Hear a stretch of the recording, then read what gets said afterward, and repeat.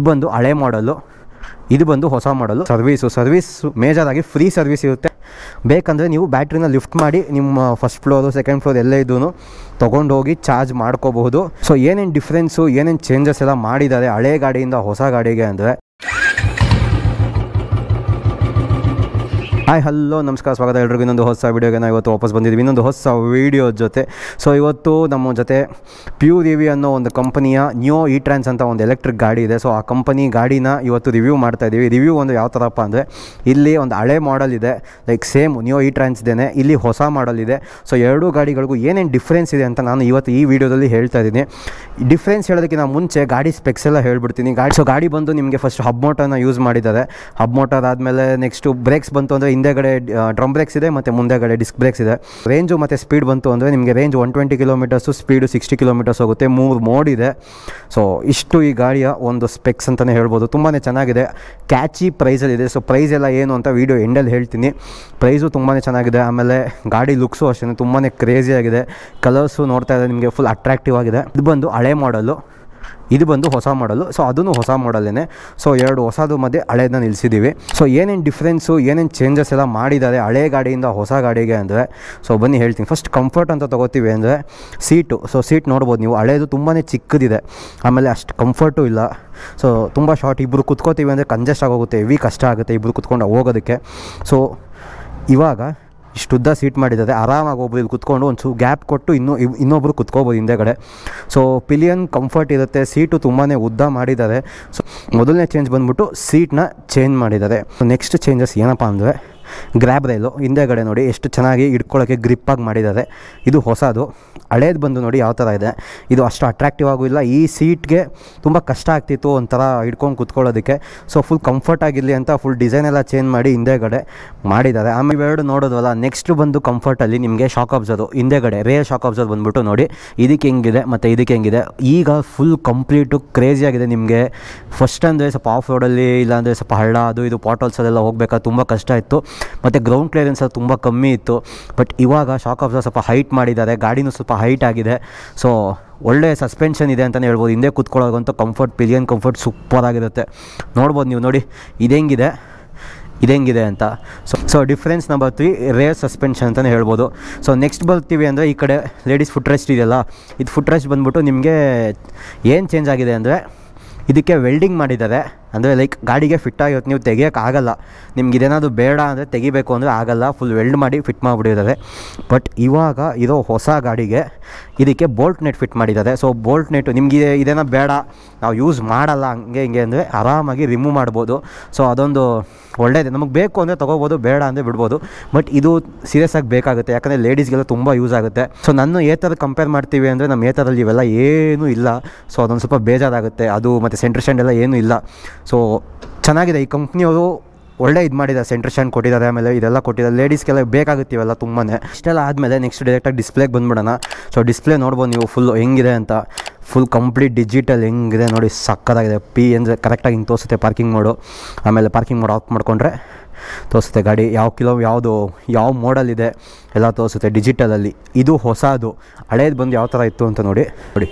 ಹಳೇದು ಬಂದು ಯಾವ ಥರ ಇತ್ತು ಅಂತ. ಫುಲ್ ಒಂಥರ ಓಲ್ಡ್ ಸ್ಕೂಲ್ ವಿಂಟೇಜ್ ಥರ ಇತ್ತು ಇಷ್ಟೇ ಚಿಕ್ಕದು ಬೇರೆ. ಅಷ್ಟು ಲುಕ್ಕು ಇರಲಿಲ್ಲ ಕ್ಯಾಚಿಯಾಗೂ ಇರಲಿಲ್ಲ. ನೋಡಿದ ತಕ್ಷಣ ಡಿಸ್ಪ್ಲೇಲಿ ಹಿಡ್ಕೋಬೇಕು ಅದು ಕಣ್ಣಲ್ಲಿ ಹಂಗೇನೆ.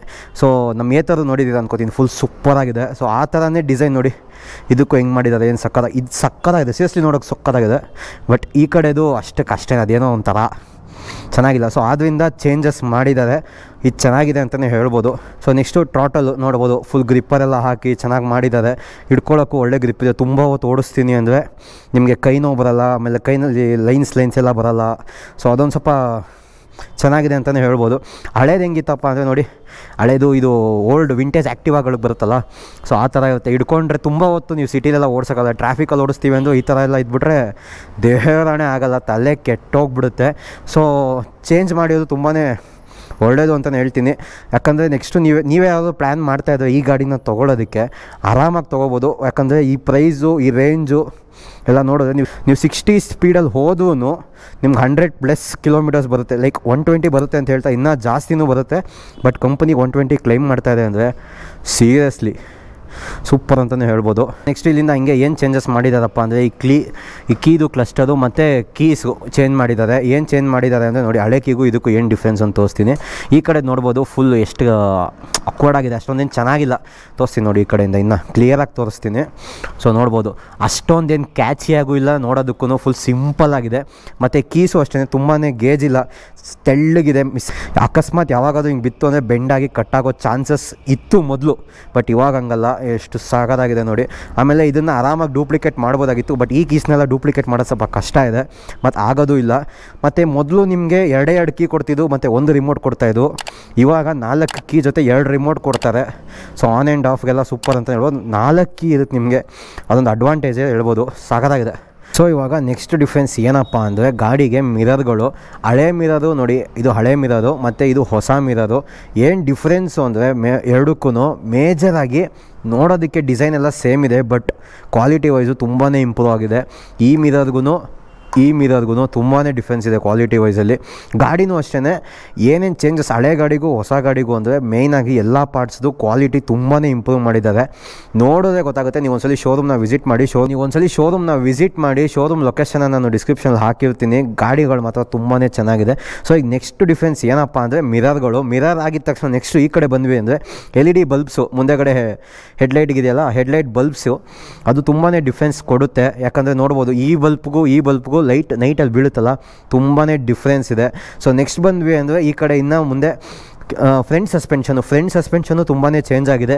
ಹಳೇದು ಮತ್ತು ಹೊಸದಕ್ಕೆ ಫ್ರಂಟ್ ಸಸ್ಪೆನ್ಷನು ತುಂಬಾ ಚೇಂಜಸ್ ಆಗಿವೆ. ಸೊ ಇವಾಗ ನಿಮಗೆ ಸಸ್ಪೆನ್ಷನ್ ಅಂದಂಗೆ ಹಿಂದೆಗಡೆ ಇನ್ನೊಂದು ಹೇಳೋದು ಮರ್ತೋಗ್ಬಿಟ್ಟೆ. ನೋಡ್ಬೋದು ಲೈಕ್ ಸ್ವಿಂಗಾಮ್ ಕವರ್ ಇದೆಯಲ್ಲ ಸ್ವಿಂಗಾಮ್ ಕವರು ಹಳೇದಕ್ಕೂ ಹೊಸದಕ್ಕೂ ತುಂಬಾ ಡಿಫ್ರೆನ್ಸ್ ಇದೆ. ಡಿಸೈನು ಚೇಂಜ್ ಆಗಿದೆ. ಆಮೇಲೆ ಕವರ್ ಮಾಡೋ ಜಾಗನೂ ಅಷ್ಟೇ ತುಂಬಾ ಕವರ್ ಮಾಡುತ್ತೆ. ಮತ್ತು ಇದು ಸ್ವಲ್ಪ ಹೈಟ್ ಆಗೋದ್ರಿಂದ ಒಳಗಡೆ ತುಂಬ ಸ್ಪೇಸ್ ಇದೆ. ಮತ್ತು ತುಂಬ ಈ ಬ್ಯಾಟ್ರಿಗೆ ಕಂಟ್ರೋಲರ್ಗೆಲ್ಲ ತುಂಬಾ ಕವರಿಂಗ್ ಆಗಿದೆ. ಸ್ವಿಂಗಾಮ್ ಕವರು ಅಷ್ಟೇ ನೋಡ್ಬೋದು. ಎಷ್ಟು ಡಿಸೈನ್ ಚೇಂಜ್ ಆಗಿದೆ ಅಂತ ಇದಕ್ಕೂ ಮತ್ತು ಇದಕ್ಕೂ ಸೊ ಫೈನಲ್ ಚೇಂಜ್ ಏನಂದರೆ ಮೇಯ್ನು ಈ ಗಾಡೀಲಿ ಬ್ಯಾಟ್ರಿ ತೋರಿಸ್ತೀನಿ ನೋಡಿ. ಇದಕ್ಕೂ. ನೆಕ್ಸ್ಟ್ ಇದಕ್ಕೂ ಸೊ ನೋಡ್ಬೋದು. ಇದ್ರಲ್ಲಿ ನೋಡಿ ಮತ್ತು ಇದನ್ನು ನೋಡಿ ಎಷ್ಟು ಡಿಫ್ರೆನ್ಸ್ ಇದೆ ಅಂತ. ಸೊ ಹಳೆ ಗಾಡೀಲಿ ನಿಮಗೆ ಒಂದು ಚಾರ್ಜರ್ ಇಟ್ಕೊಂಡ್ರೆ ಸಾಕು ಫುಲ್ ತುಂಬೋಗ್ಬಿಡುತ್ತೆ, ಮತ್ತು ಬ್ಯಾಟ್ರಿ ಬಂದು ಸ್ಟ್ರೈಟು ಹಿಂಗೆ ಇರುತ್ತೆ, ಮತ್ತು ನಿಮಗೆ ಏನು ಸ್ಪೇಸ್ ಹೆಲ್ಮೆಟ್ ಇಟ್ಕೊಳ್ಳೋದಕ್ಕೆ ಏನಕ್ಕೂ ಸಿಗಲ್ಲ. ನೋಡಿ ಚಾರ್ಜನ್ನು ಎಷ್ಟು ಕಷ್ಟಪಟ್ಟು ಇಟ್ಟಿದ್ದಾರೆ ಕಸ್ಟಮರು ಸೊ ತುಂಬ ಕಷ್ಟ ಆಗ್ತಿತ್ತು, ಆಮೇಲೆ ಕಂಪ್ಲೇಂಟ್ಸ್ ಎಲ್ಲ ತುಂಬ ಇತ್ತು. ಸೊ ಈಗ ಫುಲ್ ಚೇಂಜ್ ಮಾಡಿ ಇವಾಗ ನೋಡಿ ಹೆಂಗಿಟ್ಟಿದ್ದಾರೆ ಅಂತ. ಬೇಜನ್ ಜಾಗ ಐತೆ. ಚಾರ್ಜರ್ ಎಲ್ಲ ಆರಾಮಾಗಿ ಇಟ್ಕೋಬೋದು. ಬ್ಯಾಟ್ರಿ ಈಗ ಫುಲ್ ಸ್ಲ್ಯಾಂಟಾಗಿ ಇಟ್ಟಿರೋದು ಈಗ. ಸ್ಟ್ರೈಟ್ ಅಂದರೆ ಇಲ್ಲಿವರೆಗೂ ಬರ್ತಾಯಿತ್ತು ಫಸ್ಟ್ ನೋಡಿ ಸ್ಟ್ರೈಟ್ ಇತ್ತು ಹಿಂಗೆ. ಇವಾಗ ಫುಲ್ ಸ್ಲ್ಯಾಂಟ್ ಆಗಿದೆ. ಬೇಕಂದರೆ ನೀವು ಬ್ಯಾಟ್ರಿನ ಲಿಫ್ಟ್ ಮಾಡಿ ನಿಮ್ಮ ಫಸ್ಟ್ ಫ್ಲೋರು ಸೆಕೆಂಡ್ ಫ್ಲೋರ್ ಎಲ್ಲೇ ಇದ್ದೂ ತೊಗೊಂಡೋಗಿ ಚಾರ್ಜ್ ಮಾಡ್ಕೋಬಹುದು. ಬಟ್ ಫಸ್ಟು ತೊಗೊಳಕ್ಕಿಂತ ಮುಂಚೆ ಇಲ್ಲಿ ಆಫ್ ಮಾಡಬೇಕು. ಆಫ್ ಮಾಡಿ ಈ ಪ್ಲಗ್ನ ಬಿಚ್ಚಿಬಿಟ್ಟು ತೊಗೊಂಡು ಹೋಗ್ಬೋದು. ನೋಡಿ ಸ್ಪೇಸ್ ಎಷ್ಟಿರುತ್ತೆ ಅಂತ. ಚಾರ್ಜನ್ನು ಹಿಂಗಿಟ್ಟು.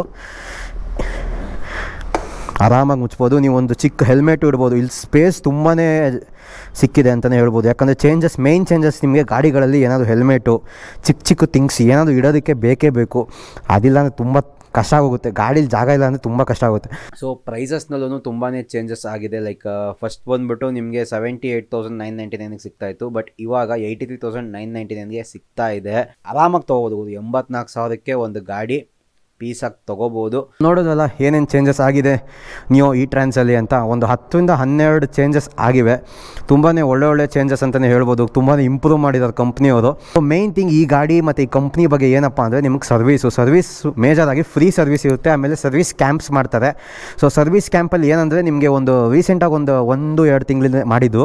ಸೊ ಆ ಸರ್ವಿಸ್ ಕ್ಯಾಂಪಲ್ಲಿ ಒಂದು ಮುನ್ನೂರು ಮುನ್ನೂರೈವತ್ತು ಜನ ಕಸ್ಟಮರ್ಸ್ ಬಂದು ಸರ್ವಿಸ್ನ ಮಾಡಿಸ್ಕೊಂಡು ಹೋಗಿದ್ದಾರೆ. ಆಮೇಲೆ ಎಷ್ಟೊಂದು ಜನಕ್ಕೆ ಎಷ್ಟೋ ಜನಕ್ಕಲ್ಲ ಎಲ್ರಿಗೂ ಒಂದಲ್ಲ ಒಂದು ಸರ್ವಿಸ್ ಪಾರ್ಟ್ಸ್ ಬರುತ್ತಲ್ಲ, ಸೊ ಆ ಪಾರ್ಟ್ಸ್ನ ಗಿಫ್ಟಾಗಿ ಕೊಟ್ಟಿರ್ತಾರೆ. ಅವ್ರಿಗೆ ಯಾರಾದರೂ ಪಾರ್ಟ್ ಹಾಳಾಗಿತ್ತು, ಇಲ್ಲ ಚೇಂಜ್ ಮಾಡಬೇಕಾಗಿತ್ತು ಅಂಥವೇನಾದರೂ ಇತ್ತು ಅಂದರೆ ಅದನ್ನು ಅವ್ರಿಗೆ ಫ್ರೀಯಾಗಿ ಕೊಟ್ಟಿದ್ದಾರೆ ಕಂಪನಿಯವರು. ಮತ್ತು ಈ ಗಾಡಿ ಸರ್ವಿಸ್ ಮಾಡಿಸ್ಬೇಕಾದ್ರೂ ತುಂಬ ಕಾಸ್ಟ್ ಆಗೋದೇ ಇಲ್ಲ hundred percent full free service ಎಲ್ಲೋ ಐವತ್ತು, ನೂರು ರೂಪಾಯಿ ಆಗುತ್ತೆ ಅಷ್ಟೇ ಸರ್ವಿಸ್ಗೆ ನಾನು ಇಲ್ಲಿ ವೀಡಿಯೋ ಮಾಡೋದಕ್ಕೆ ಅಂತಲೇ ಬಂದೆ ಶೋರೂಮಲ್ಲಿ ಒಂದು ಹತ್ತು ನಿಮಿಷ ಕೂತಿದ್ದೆ, ಯಾರೋ ಅವಾಗ ತಾನೇ ಸರ್ವಿಸ್ ಮಾಡಿಸ್ಕೊಂಡು ಫಿಫ್ಟಿ ರುಪೀಸ್ ಕೊಟ್ಬಿಟ್ಟು ಹೋದು. ನಾನು ಫಿಫ್ಟಿ ರುಪೀಸ್ ಸೀರಿಯಸ್ಲಿ ಒಂದು ಐಸ್ ಕ್ರೀಮ್ ಬರಲ್ಲ ಗುರು. ಅಂಥದ್ರಲ್ಲಿ ಒಂದು ಎಲೆಕ್ಟ್ರಿಕ್ ಗಾಡಿ ಸರ್ವಿಸ್ ಆಗುತ್ತೆ. ಕೇಳಿನೇ ಶಾಕ್ ಆಗೋಯ್ತು. ಸೊ ಸರ್ವಿಸ್ ಬಗ್ಗೆ ಅಂತ ಬಂತು ಅಂದರೆ ಗಾಡಿ ಸೀರಿಯಸ್ಲಿ ಡ್ಯಾಮ್ ಕ್ರೇಜಿ ಅಂತಲೇ ಹೇಳ್ಬೋದು. ಚೆನ್ನಾಗಿದೆ. ತುಂಬ ಇಷ್ಟ ಆಯಿತು. ನಿಮ್ಗೆ ಏನು ಅನ್ನಿಸ್ತು ಈ ಗಾಡಿಗಳ ಬಗ್ಗೆ, ಈ ಚೇಂಜಸ್ ಬಗ್ಗೆ ಏನೇನು ಅನ್ನಿಸ್ತು? ಇನ್ನೂ ಏನಾದರೂ ಚೇಂಜ್ ಆಗಬೇಕಾಗಿತ್ತಾ? ಇಂದ ಏನಾದರೂ ಚೇಂಜಸ್ ಬೇಕಿತ್ತಾ ಇಲ್ಲ? ಈ ಚೇಂಜಸ್ ಏನು ಅನ್ನಿಸ್ತು ಅಂತ ಕಮೆಂಟ್ ಸೆಕ್ಷನ್ ಹೇಳಿ. ವಿಡಿಯೋ ಇಷ್ಟ ಆಗಿದೆ ಲೈಕ್ ಮಾಡಿ ಶೇರ್ ಮಾಡಿ ಸಬ್ಸ್ಕ್ರೈಬ್ ಮಾಡಿ. ಆದಷ್ಟು ಕನ್ನಡ ಕಂಟೆಂಟ್ ಕ್ರಿಯೇಟರ್ಸ್ಗೆಲ್ಲ ಸಪೋರ್ಟ್ ಮಾಡಿ. ವಿಡಿಯೋ ಶೇರ್ ಮಾಡಿ. Bye bye